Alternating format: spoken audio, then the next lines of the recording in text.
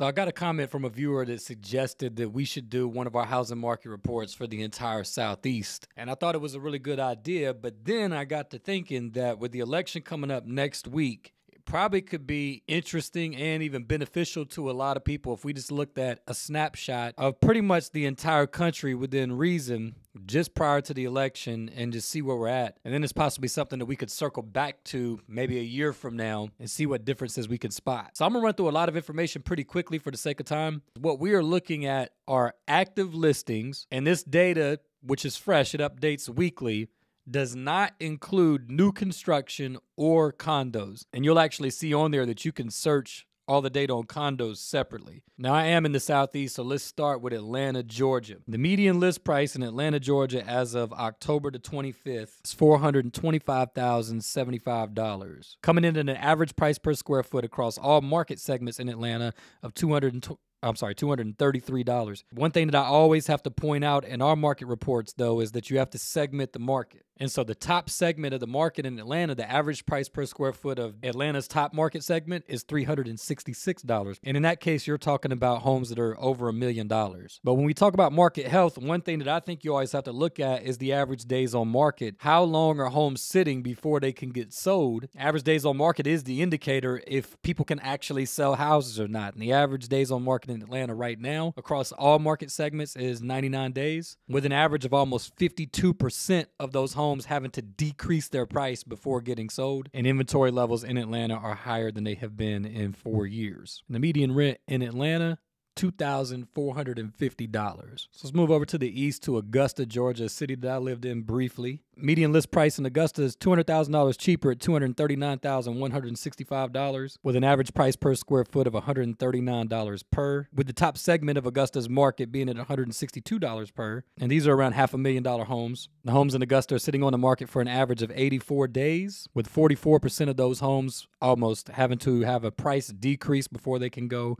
under contract and get sold. Inventory levels in Augusta are also up significantly compared to where it's been over the last four or five years. And the median rent in Augusta is $1,300. All right, let's move over just down the road for me in Charleston, South Carolina. Median list price in Charleston, $840,258, with an average price per square foot of $397 per. With the top segment in Charleston's market, $751 per. And You're talking about multi million dollar homes in that case. The homes in Charleston are sitting on the market for an average of 78 days, with over 52% of those homes having to decrease their price to get sold. And the inventory levels in Charleston have been pretty stable for four years now. With a median rent of $3,400, Charleston's market is pretty hot. The most popular city in the state and one of the most moved to cities in the country is an area that I do service, which is Myrtle Beach, South Carolina. Our median list price in Myrtle Beach is $447,123 with an average price per square foot of 225. When you look at the top segment of our homes in Myrtle Beach, it's significantly higher at in the 330s. And the reason is the oceanfront properties, the prices skyrocket. About 51.5% of the properties in Myrtle Beach are having to decrease their price to get sold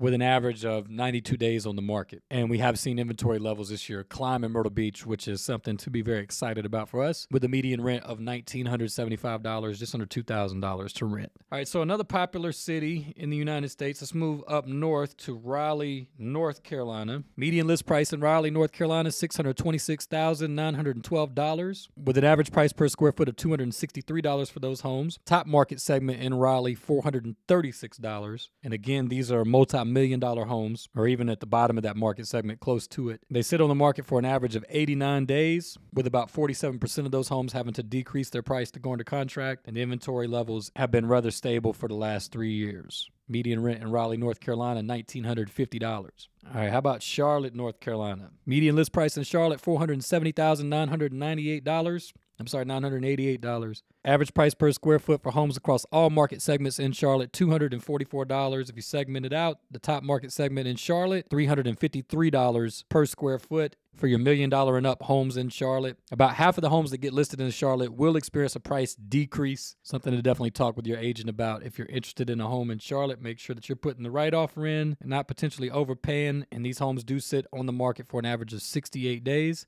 relatively hot market in Charlotte with inventory levels that have skyrocketed in 2024, much higher than where they were this time last year. And the median rent in Charlotte's about $2,000 at 2095. Let's hit a city in Florida. So let's hit a city in Florida and then we'll go up north a little bit. Median list price in Jacksonville, Florida, $334,181. These homes on average at a price per square foot are $196 per.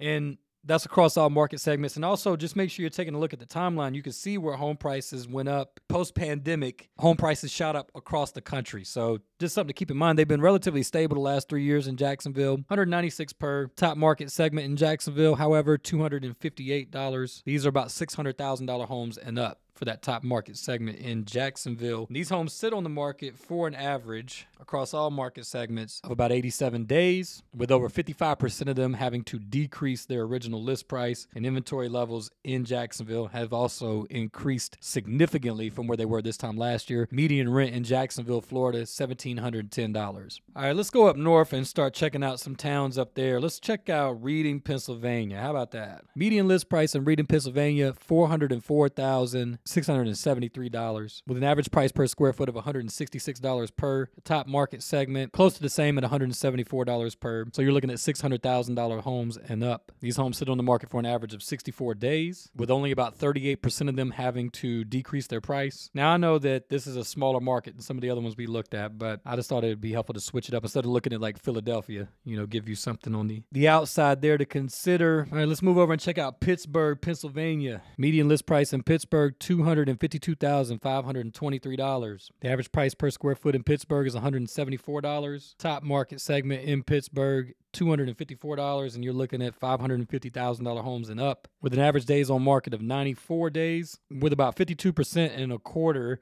having to decrease their original list price and the inventory levels in Pittsburgh have been relatively the same for four years now. Median rent in Pittsburgh, $1,600. Particularly with average days on market, tell me if you're starting to see that it's pretty consistent across the country, at least so far, which really just tells you that people are buying houses pretty consistently, at least in every market we've looked at so far. So let's go out west. Let's hit like Seattle, Washington. Median list price in Seattle, Washington is $1 million.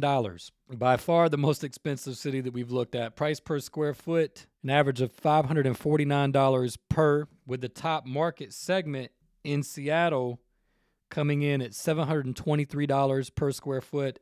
These are, again, multi million dollar homes. These homes sit on the market for an average of 65 days, so relatively hot market in Seattle, with just under 42% of those homes having to decrease their original list price. And the inventory levels in Seattle have increased pretty significantly higher than they were this time last year, about where they were two years ago, which is right there moving through the spike of the mortgage rates with the median rent of $3,800 in Seattle. Let's go down south and check out San Diego, California. Median list price in San Diego, $1.4 million.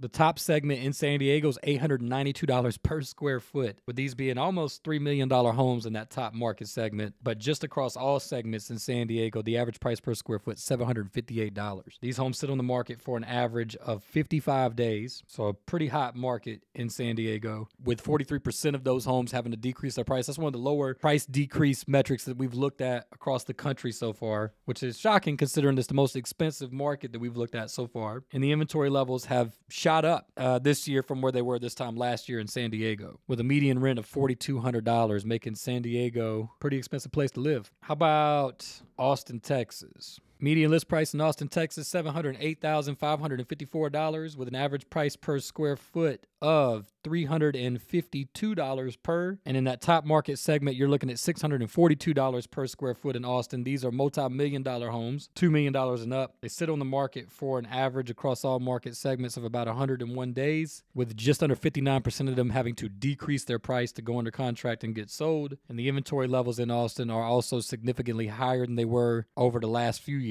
with a median rent of $2,500 in Austin, Texas. Let's move up to the Midwest. Let's hit St. Louis, Missouri. Median list price in St. Louis, $184,365, with an average price per square foot of $137 per. In that top market segment, just under $200 per square foot. These are half a million dollar homes and up. They sit on the market for an average of 86 days, with about 45% of them having to decrease their original list price and the inventory levels in St. Louis have also gone up this year pretty significantly. Median rent in St. Louis, Missouri, $1,395. Minneapolis, Minnesota has a median list price of $404,885 with an average price per square foot in their top market segment of $299, these are about million dollar homes and up. But across the board, the average price per square foot in Minneapolis is $218 per. These homes sit on the market for an average of 63 days, with about 43% of those homes decreasing their original list price.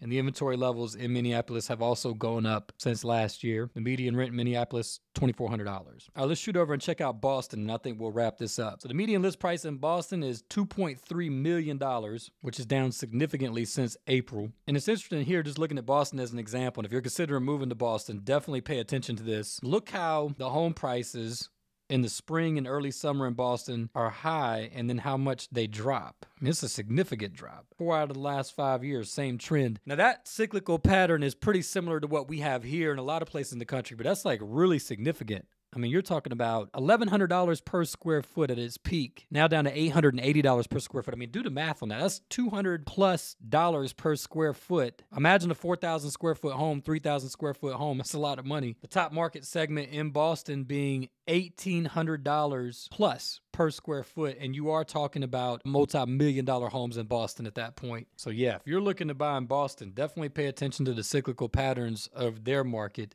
with an average days on market across all market segments of 103 days. Understanding that information is going to help you with your strategy, your pricing strategy, that is, if you're going to submit an offer on one of those houses in Boston with a median rent of $3,960. So I think that'd be a good place to stop. Uh, the purpose of this was to get a snapshot of the country and see where we are now. Obviously, the election or election day is next week. So I think it'd be very interesting to watch how our housing market nationally changes over the coming 12 to 24 months. And definitely something that we may circle back to, say, a year from now now and see what kind of changes there were. If there's any particular market that you'd like to see that we didn't look at, I'll put my email address down in the description of the video. If you'll just email me and let me know that you want to receive these market reports, I can plug you in and they will send to you automatically for free every week. And you can search any market in the country. So if you're looking in your general area or an area that you're looking to move to or sell out of, this tool will come in really handy. Remember, this updates, this is weekly. So this data refreshes every Friday. The other thing that I will say is my service service area is northeast South Carolina. So everything from Sumter, South Carolina, over to Myrtle Beach, from the North Carolina border all the way down to Georgetown, South Carolina. I hope y'all enjoyed it. I appreciate your viewership. Y'all take care and God willing, we'll see you on the next video.